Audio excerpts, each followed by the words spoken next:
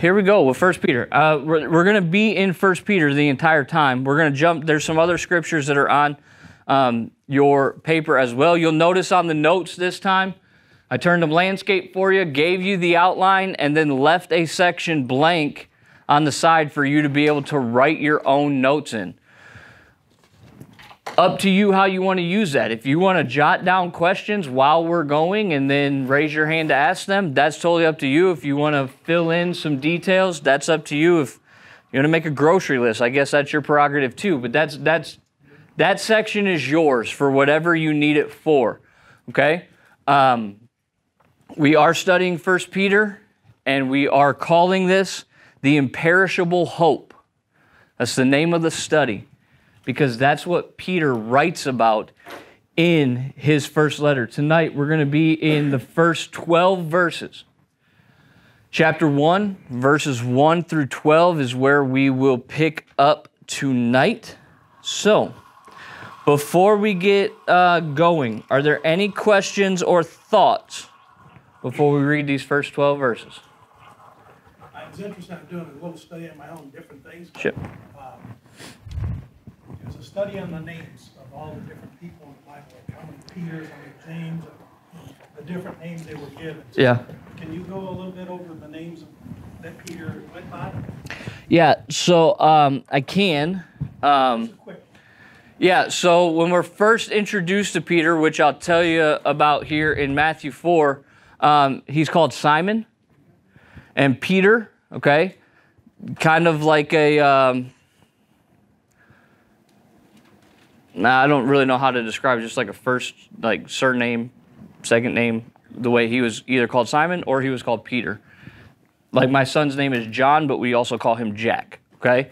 But then he also went by Cephas, which means rock, and uh, a lot of people believe that his declaration of "You are the Christ, the Son of God," the Catholics have taken that and ran with it to mean that he is, you know, the first pope, and every pope has descended from him. Building off of that idea of his name being the Rock or Cephas, um, but really we're just talking about Simon Peter is who we're talking about. The uh, the man who was born with the proverbial foot in his mouth consistently. Okay? Um, and so we'll we'll see a little bit of that tonight because we are going to look at in this introduction, these first couple of verses, who is Peter? Who's he writing to? And then he gives us his thesis statement basically in uh, in verse number two. And then in verse three, he starts to build on that thesis statement. So before we get going, uh, I think as is appropriate, we should um, ask the Lord to bless our time. Before we do pray, though, I do want to remind everybody that each week after these sessions are taught, they are being recorded and they'll be up on the Valor Men's YouTube page. So if you end up missing a week, you can go to the YouTube page and um, and see the lesson that you missed, and then you'll be caught up. The notes are also posted there um, in the description. If you need help navigating there, I can help you on a Wednesday night, or you can just go to the church's website, go to ministries, men's ministries, and there's a link to the YouTube page right from uh, thebeaconbaptist.com. So let's get praying, let's get studying, and let's look at this imperishable hope that Peter talks about. So pray with me if you will. God, I love you and I thank you for tonight. And I thank you for bringing us here together. Every face that is here is here by your appointment, God, and we praise you and thank you for that. I pray that you would be with our time tonight, God, that your Son would be glorified, that your Spirit would meet with us to bring the Scriptures to life for us, that you would quiet our minds, that you would calm our hearts, so that we can hear from you, so that we may know you better. We pray all of these things through Jesus Christ. Amen. All right, let's go. Why would we call why would we call the study of First Peter an imperishable hope? Well, part of the reason, go ahead. Well, it kind of was.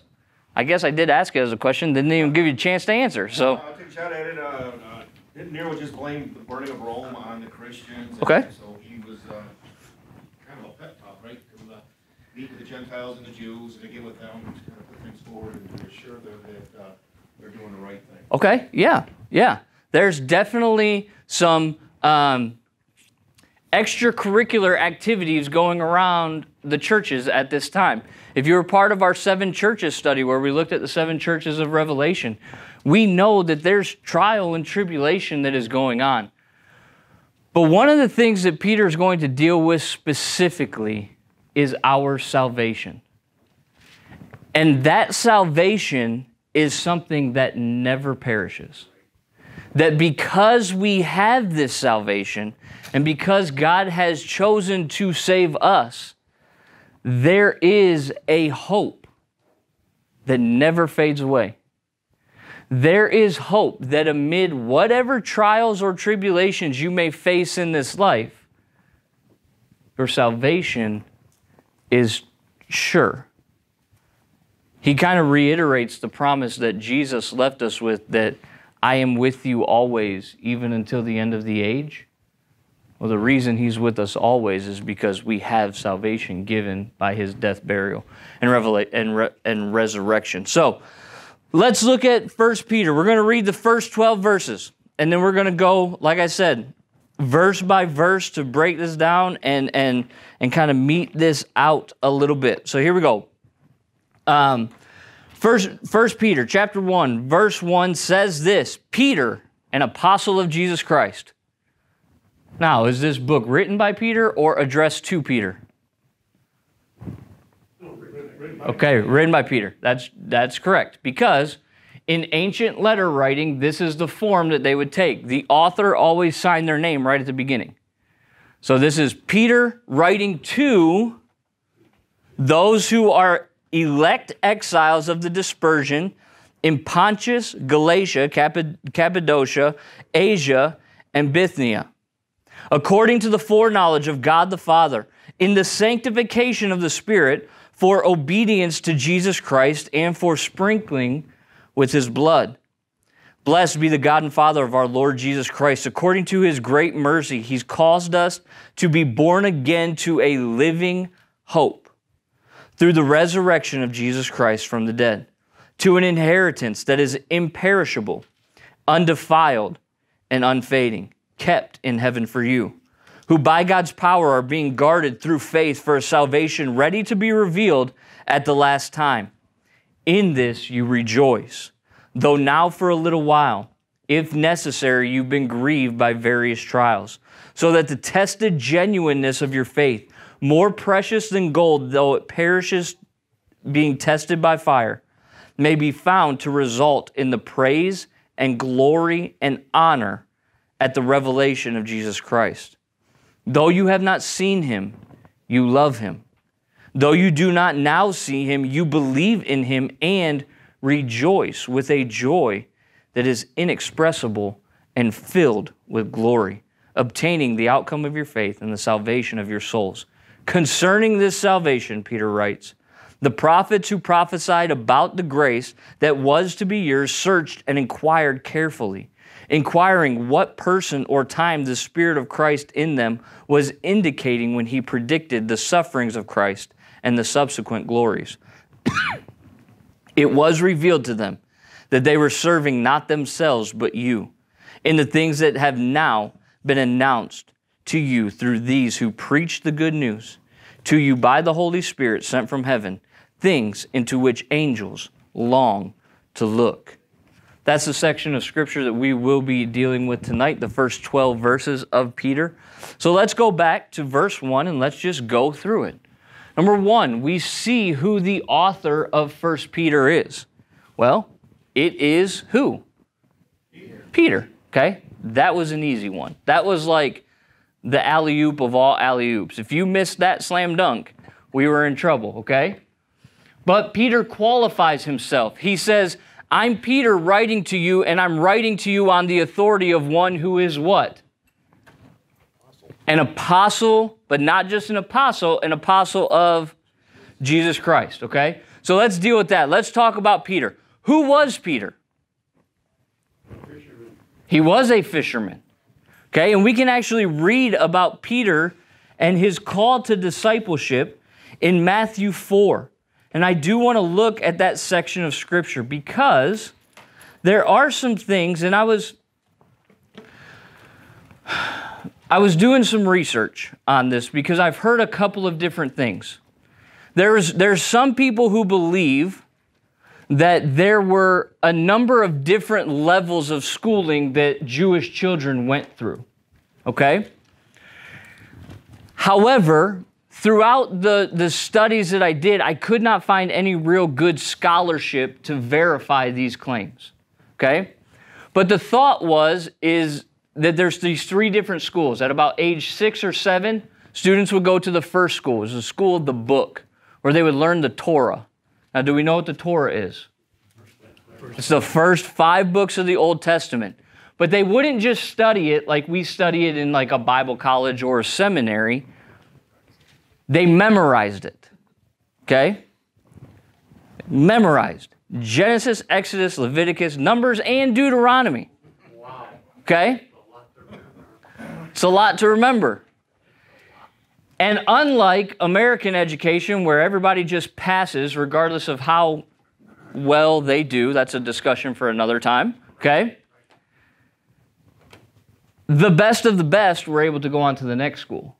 If you were not part of that group, then you just went and start, started taking up the family business. Then, in the next set of schooling, what would happen is you would memorize the rest of the Old Testament. Okay? So by the end of the time you were about 14 years old, you would have 39 books committed to memory. That's significant.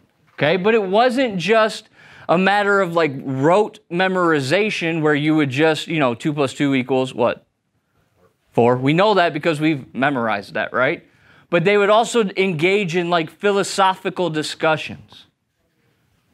And then again, school number three was the best of the best. From that, school number two moved on.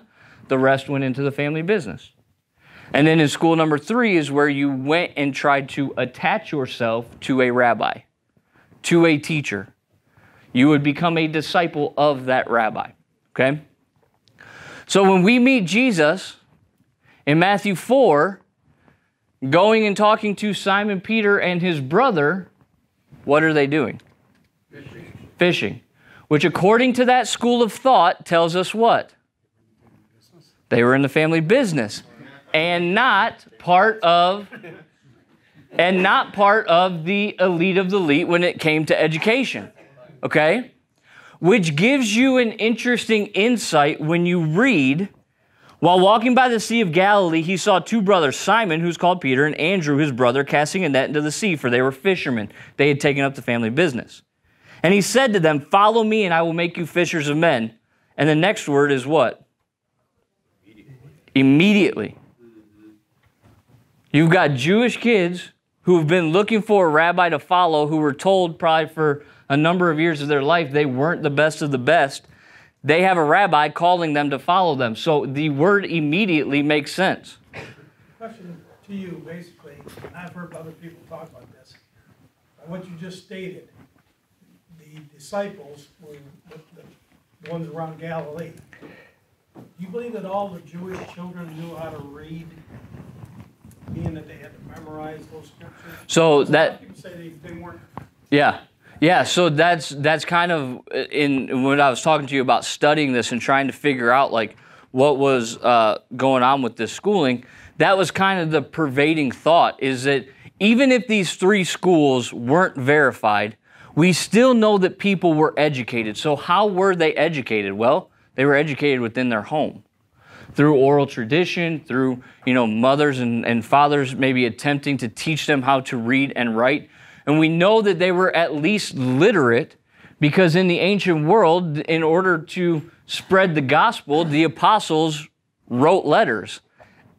And I must say, sitting here in 2023, I'm really glad they wrote letters, right? Because then those letters were preserved for us so that we too might know who our Creator is. Okay?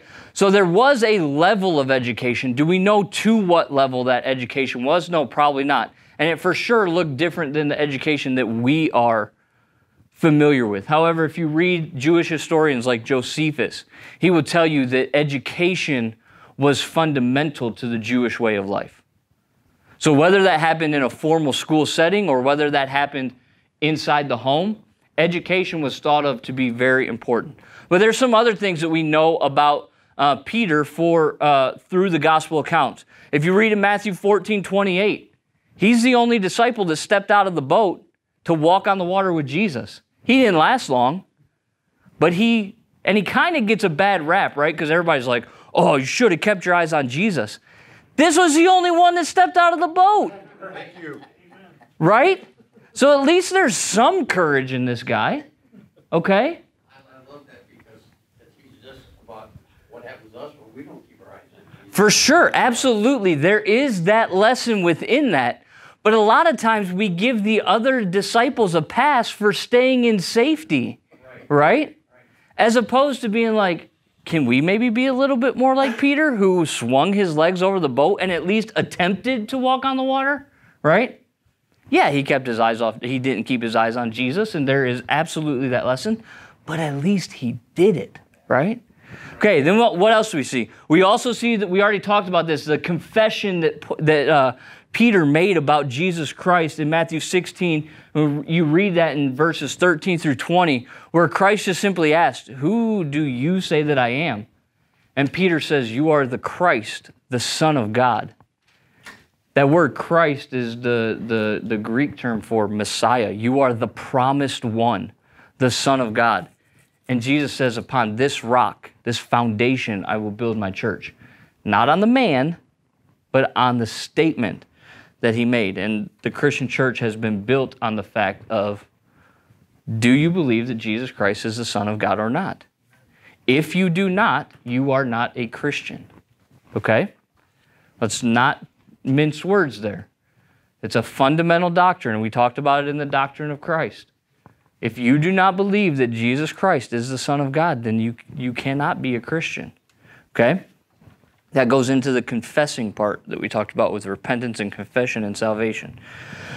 Peter was also part of that inner circle of Jesus who was present at the transfiguration. You can read about that in Matthew 17. He also boldly, even though incorrectly, defended Jesus with a sword in the garden. Now, if you read this account, it's found in all four Gospels. Matthew, Mark, and Luke do not name the disciple, which I find very interesting. Matthew, probably because he didn't really want to throw Peter under the bus. Mark, for sure, because he was kind of a follower of Peter and kind of Peter's, you know, handwriter in a lot of ways. He got his gospel account from Peter, is what we believe traditionally. So he's clearly not going to throw Peter under the bus. Luke, I don't know why he didn't include him, but I know why John included him, right? Because we always read through the Gospel of John, John is kind of in a little bit of a competition with Peter, right? When you read the account of them going to the tomb, John says, The two of us ran to the tomb and I got there first, right? Or I'm the disciple that Jesus loved, right? So, of course, John throws Peter under the bus like, This dude pulled out a sword and cut off a guy's ear. And Jesus said, What are you doing? right? So we know that Peter was the one that cut off Malchus's ear in the garden. We also know that around the time that Christ was crucified, Peter, who said that he would die by the sword for Christ, fulfilled Jesus' promise that he would deny him three times. Okay? And then we also, if we read through Acts, you find the account of God giving Peter the command that the gospel is for the Gentiles. He falls into a trance and he sees all these unclean meats. And God tells him to rise, kill, and eat. And he goes, Lord, I've never touched these from my youth. And God says, What I've called clean, do not call unclean. And then if you read through other, God, uh, other epistle accounts like Galatians, you see that him and Paul kind of had a little bit of a rivalry as well. Because Paul will say in Galatians that I stood toe to toe with Cephas telling him that you cannot add to the gospel. Because at a point, Peter was saying, well, you can become a Christian, but you also have to be circumcised like the Jews. And, and Paul goes, hold on, buddy, we're going to square off in a minute if you don't get this right. Okay? But for all of the ups and downs of Peter's life, and for all of the things that we know about Peter, he's definitely bold. He's definitely courageous. He was definitely born with a foot in his mouth that needed to be surgically removed a couple of times. But yet, at the end of the day, he was faithful. And at the end of the day, when it came to writing this letter, he knew where hope came from. He knew that regardless of circumstances and trial, our salvation is sure because of the man that he followed for three and a half years. He knew that our hope was secured. So let's talk about this. That's just the first word of the letter. So congratulations, right? Um, the next set, the apostle of Jesus Christ. Apostle is a Greek word apostolos, which is you can find it in Strong's concordance in G649. That's the, the, the Strong's number for it, which basically means this a delegate, specifically an ambassador of the gospel, officially a commissioner of Christ. He that is sent. Now, we will say that in order to be a, an apostle, you had to be one that was specifically commissioned by Christ and had to be an eyewitness of him which John talks about in his first letter in First John. He talks about the things that I've seen with my eyes, that I've that I've touched with my hands. And Peter, even here, we're going to read in chapter 5, verse 1, talks about being an eyewitness. And a, he talks about being a fellow elder and a witness of the sufferings of Christ. Okay? The second half of verse 1, he talks about who the audience is. He says, To the elect exiles in the dispersion of Pontus, Galatia, Cappadocia, Asia, and Bithynia. Okay? The, these elect exiles, this is a reference to exiles. It's not a specific exile, meaning it's not people who have been barred from their home, but the way in which he uses this, because he's talking about Gentiles in this section, he's talking about all of us who are exiles on this earth because our home is not here. Our home is in heaven. So when he talks about being an elect exile, yet, yes, he uses the word elect. Yes, we discussed that word in the doctrine of salvation, that it is part of God's sovereignty in our salvation, and it works with the whole predestination and adoption aspect of our salvation but it does not mitigate our responsibility of faith. Okay? But he is talking specifically about people who are saved as Gentiles. We are exiles in this world because our citizenship lies elsewhere. Elsewhere. We are children of the King, joint heirs with Jesus Christ, Paul tells us, which tells us that our citizenship does not lie and is not bound to this earth. Okay?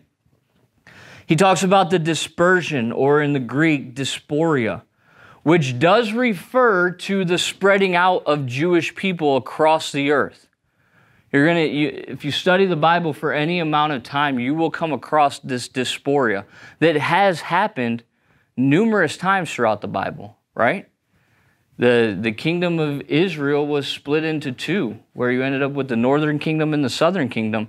And then ultimately, those kingdoms were conquered as well, and people were driven out. The entire book of Daniel is a book about the diaspora, because Daniel and his buddies were taken to Babylon. But that diaspora continues to happen. Now, when he's talking here about the dispersion, he is also referencing the church of Christ, which has been dispersed throughout the world. All right, last week when we talked in our doctrine study of the doctrine of last things, and we said there was that sign fulfillment of all nations hearing the gospel of Christ, that cannot happen unless there are Christians dispersing that gospel. So that's why he references the dispersion here. And then he names specific places Pontus, Galatia, okay, Cappadocia, Bithynia, Asia. And most likely, this is just a roadmap for who will be the courier of this letter.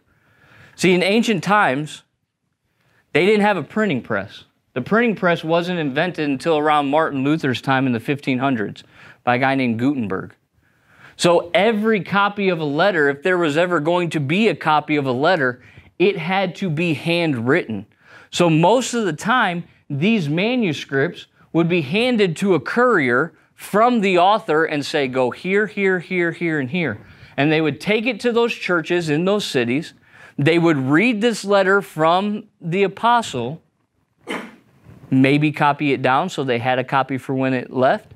But the original would then go on with the messenger. And you actually read in chapter 5, verse 2, who that courier is. His name's Silvanus, okay? But then we get into the message and the purpose of this entire letter. Anybody knows if you write a paper in school, it has to have a good opening, but a good opening means nothing if you don't have a thesis statement, right? Because your thesis statement tells your reader exactly what your message is going to be in that paper. Well, he says, to these elect exiles, and he's saying, This is to you according to the foreknowledge of God the Father, the sanctification of the Spirit, for, for is kind of a purpose word, right? This is what I'm writing for. For, and what's the command? Obedience. Obedience to what? Because we can be obedient to a number of things. Obedience to Blood of Christ. the blood of Christ, Jesus Christ. Okay? So that is the purpose of this message. But, and we're going to go back to our doctrine study a little bit. What do we notice about who he references in this verse? Mm. Say it louder for those in the back. Trinity. The Trinity. We've got the Father, Son, and Holy Spirit right here. The nature and work of the triune God right here as the purpose for Peter's letter.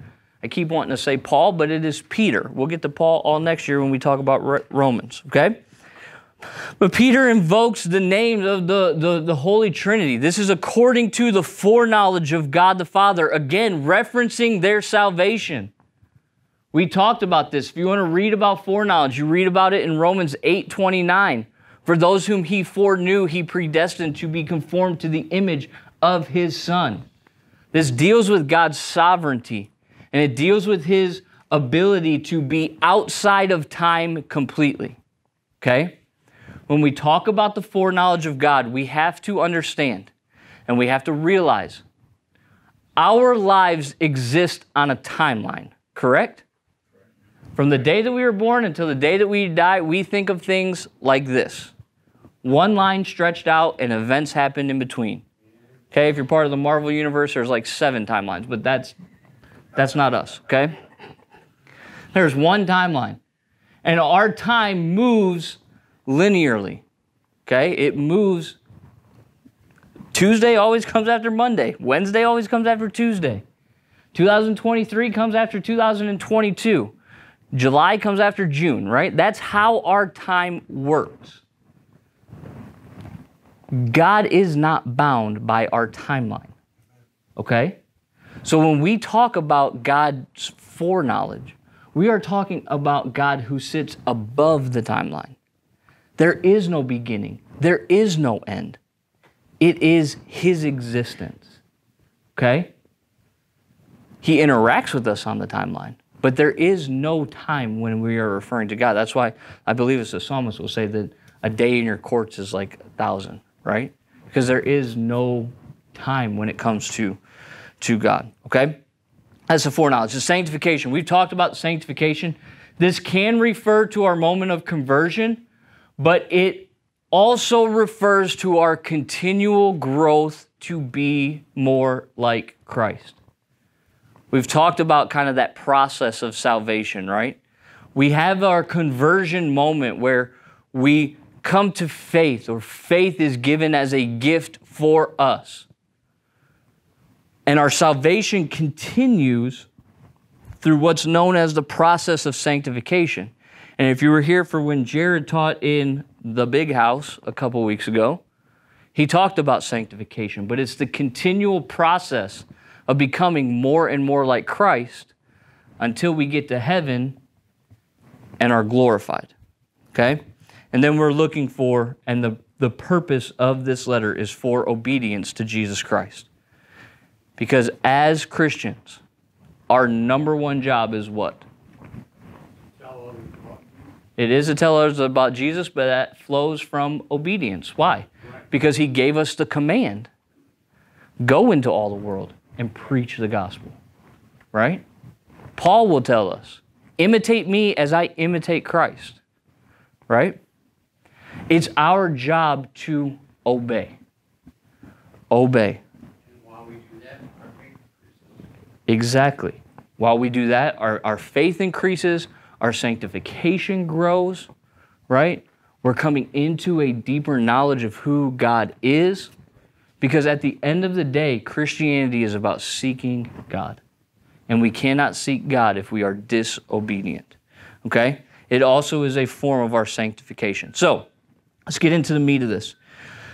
Verses 3 through 12, this is where Peter's going to start building this case. And there was a little bit of criticism among, among modern scholars because modern scholars like to criticize everything as far as the authorship of this book went because they said oh this the theology of this book it's too similar to paul so it can't be peter because it's not distinct enough right because everybody's looking for any reason to just be negative about anything because we just like being miserable as people is what i'm convinced of right but when we look at the theology of First Peter, yeah, it is similar to Paul. Do you know why it's similar to Paul? It's the same message. Thank you. like, of course, it's going to be similar because they're deriving it from the same source of truth. If they were different, we would have a problem. But what Peter focuses on in this section or in this, this book, that his first letter that he writes, he focuses more on the Christian's experience as far as suffering is concerned. Okay? And he's going to announce that right off the bat in these verses. So let's read. We're going to read 3 through 10, and then we'll get to 11 and 12 uh, towards the end. So this is what he says. And I just want to read this again because, again, I've read this to you a number of times through different studies, but now we're actually going to break it down. He says this Blessed be the God and Father of our Lord Jesus Christ. According to his great mercy, he's caused us to be born again to a living hope through the resurrection of Jesus Christ from the dead, to an inheritance that is imperishable, undefiled, and unfading, kept in heaven for you who by God's power are being guarded through faith for a salvation ready to be revealed at the last time.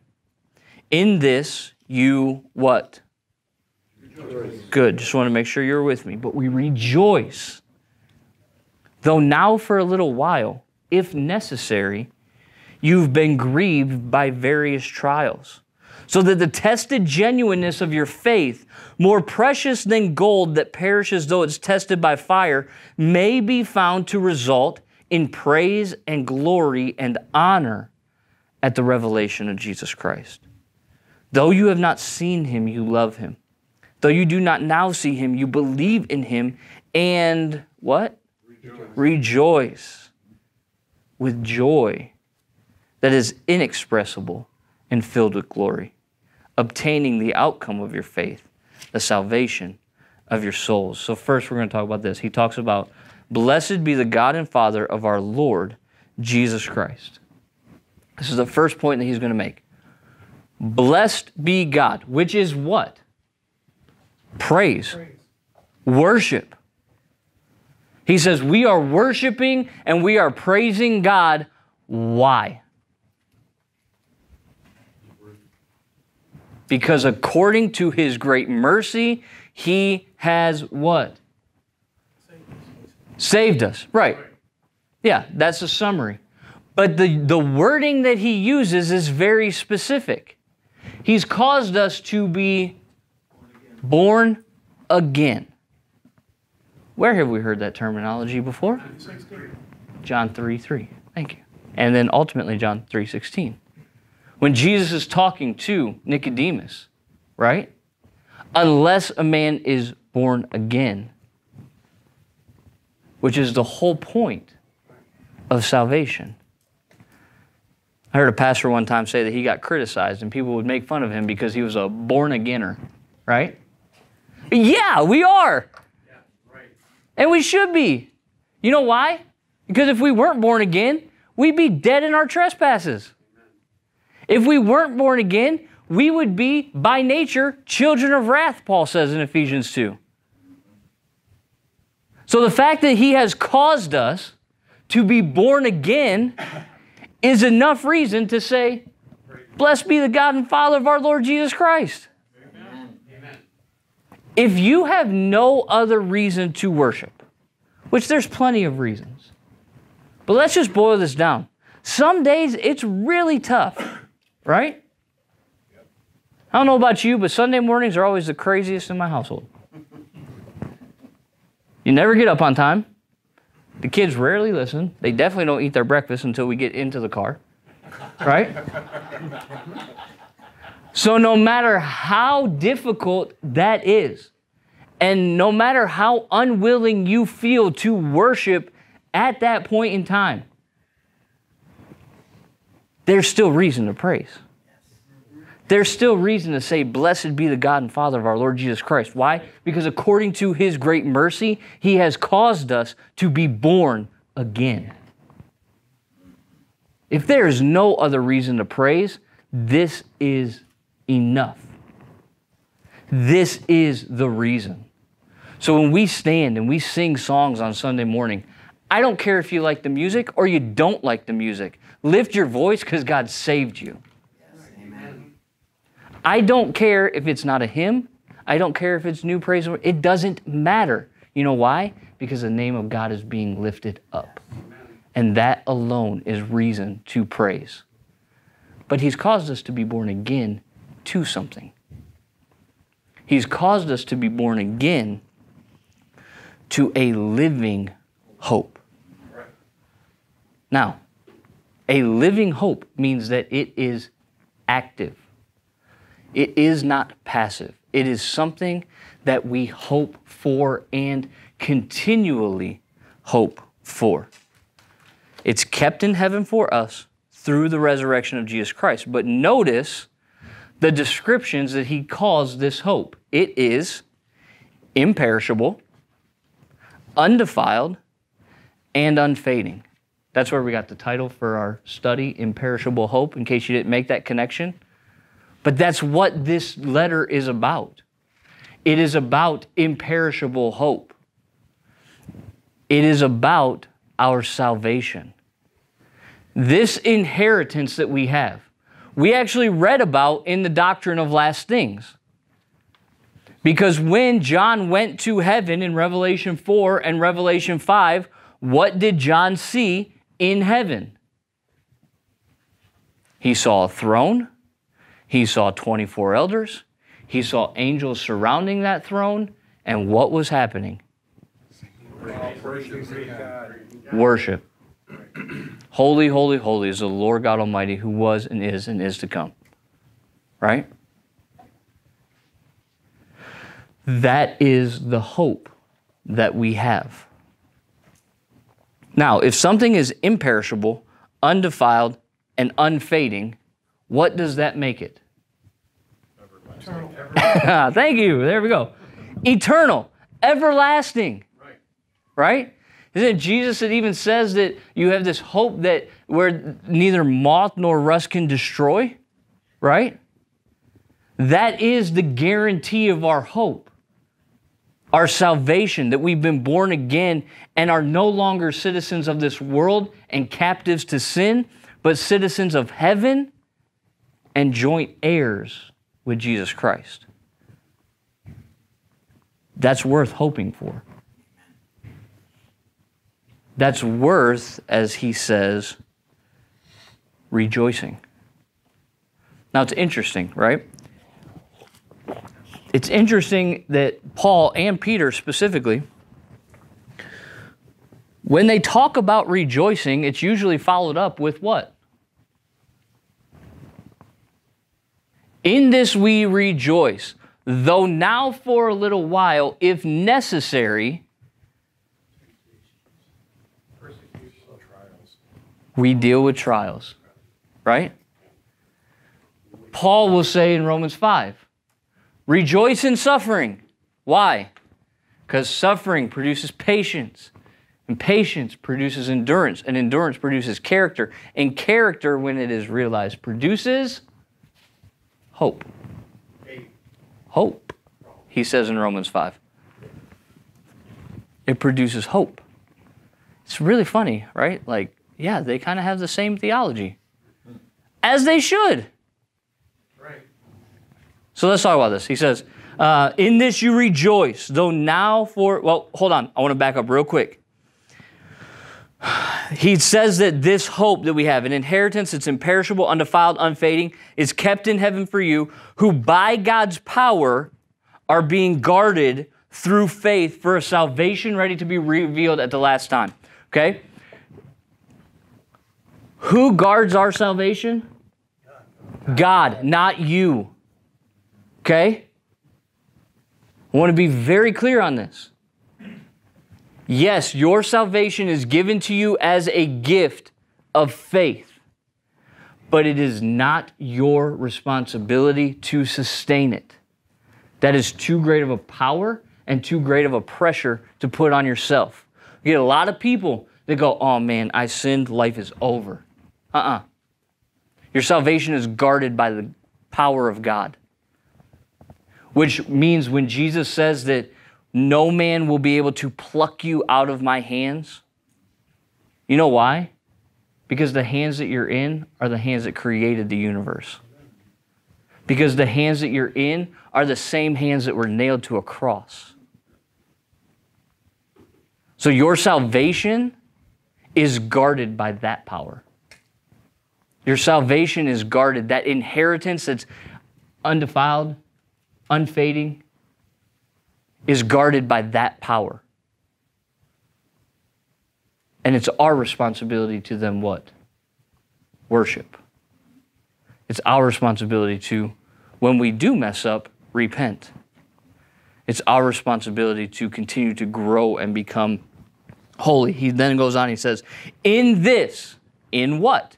In this, the salvation, the hope that you have, you rejoice. Rejoice. And again, I say, rejoice. Though now, for a little while, if necessary, you are grieved by various trials. Anybody want to take a stab at how long a little while might be? Absolutely could be. It absolutely could be your entire life. Pilgrims passing through. It may not be your lifetime. It may only be a season. May only be a little while. But that little while is undefined, and the reason why it's undefined is that it could be your life. Though now, for a little while, maybe 70 years that we have on this earth, you still rejoice. Though you are tested or grieved by various trials. There's a picture here, right? We can he he gives us this example so that the tested genuineness of your faith, which is more precious than gold, that perishes though it is tested by fire, may be found to result in the praise and the glory and the honor at the revelation of Jesus Christ. How can we rejoice in trial? How can we rejoice in pain? Well, we know that that trial is a testing of our faith. But it's even more than that in the sense that it's a refining of our faith. It's not a test in the sense that you pass or you fail, but it is a test where pressure is added. When they refine gold, what do they do? They heat it up so that the impurities move to the surface and then they scrape it away. Well, I would venture to say that when you put pressure on that gold, that's a trial, right? There's a outside force working to bring the impurities to the top. which is the same picture that it gives us with faith, right? There's this pressure that's happening, there's this trial that's happening, and yet the impurities are being revealed, and we repent from them and have them scraped away so that the genuineness of our faith can, can be made known, seen, yeah, sanctified, right? Well, we can think about this in another way too. Think about a mother giving birth to a child. There's pain, there's hardship, there's labor that is taking place, but yet there's rejoicing because life is being given. And so it is true with us in our faith and our trials. When we face trials, it's tough and there's pain and there's labor, but we can rejoice because life is being given, because faith is being tested, because faith is being refined, and ultimately we rejoice because our hope will never be taken away. Because our hope is unfading. And he goes, No, now you have not seen him. You love him. Though now you have not seen him, you love him.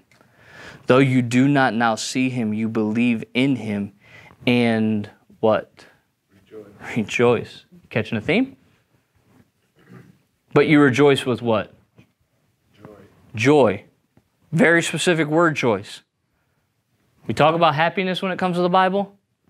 No, because we don't care about your happiness. You know why? Because your happiness is an emotion that comes from your heart, which is deceptively wicked above all else. But joy comes from God.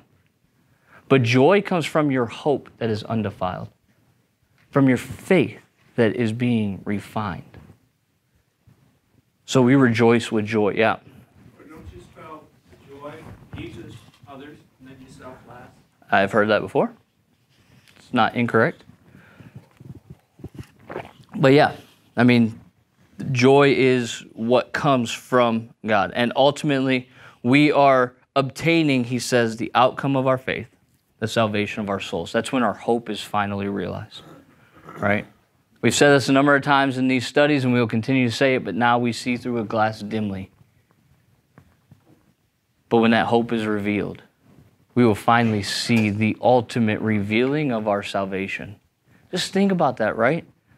Like Revelation 4, John standing before the throne. And in fact, when we read Revelation, the majority of those verses and chapters are about the throne of God, anyways. Like that is the hope that is undefiled, is our gathering around the throne of God so that we can finally worship Him in His presence, around His throne. Those who were once cosmic traitors being made citizens of the kingdom again.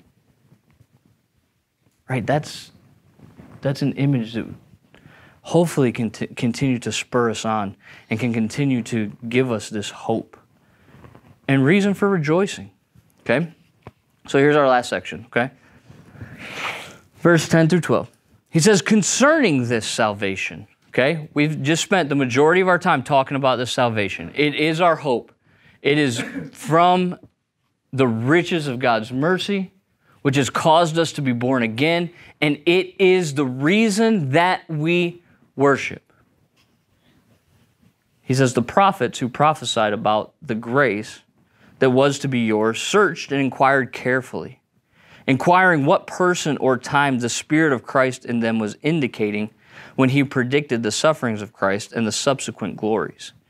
It was revealed to them that they were not serving themselves, but you, and the things that have now been announced to you through those who preached the good news, to you by the Holy Spirit sent from heaven, things into which angels long to look.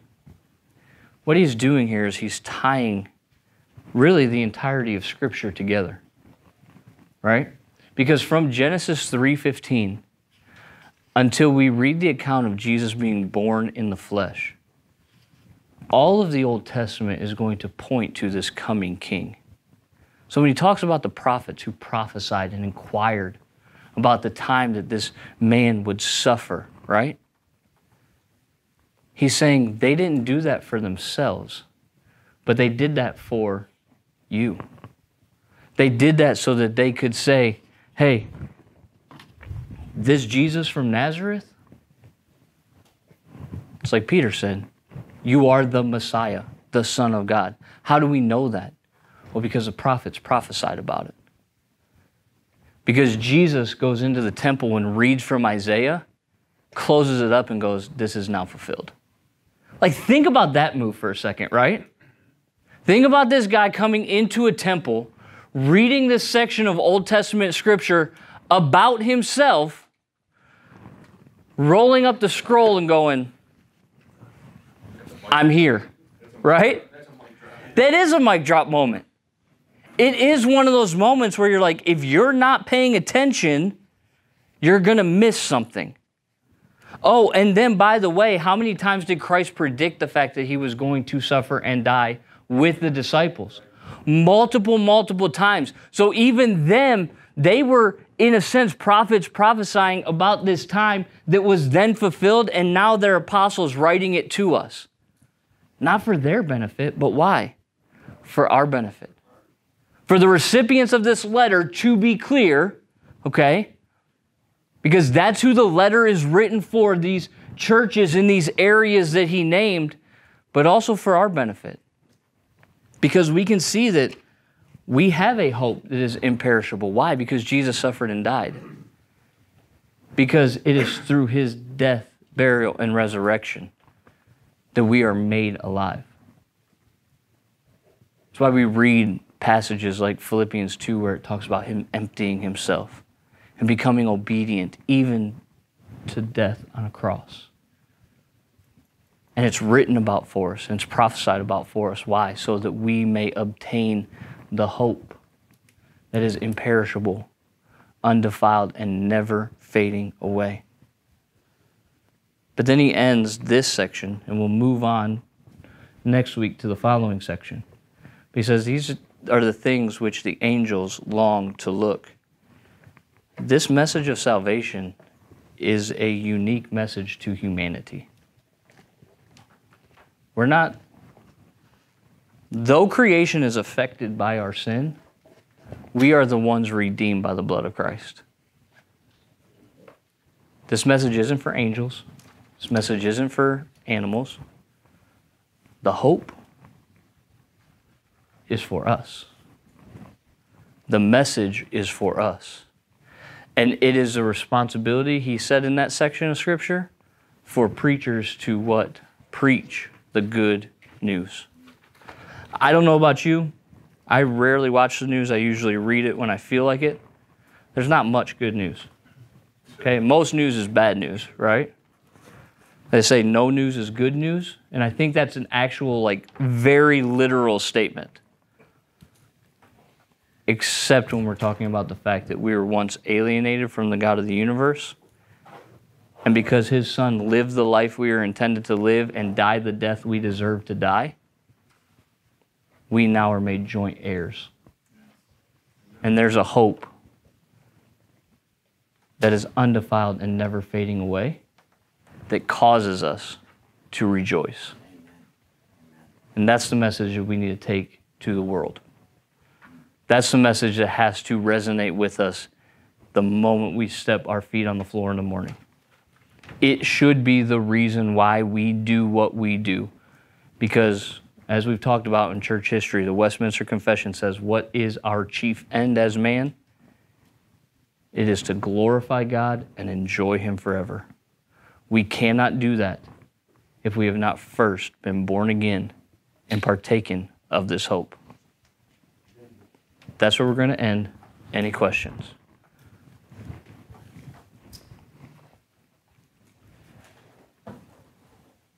Nothing? All right. Give you some time back. Unlike last week where we went pretty long. Let's pray and then we will get out of here.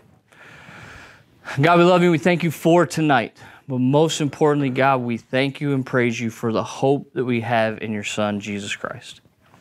I pray that you would be with us, that we would remember this hope, even though we're tested by various trials, that you would allow us the grace to get through them and the faith to withstand them. I thank you for your Son and the death that he died so that we might live. And I pray that you would send your Spirit to us to guide us each and every day and remind us to continually worship you. And it's through Jesus we pray. Amen.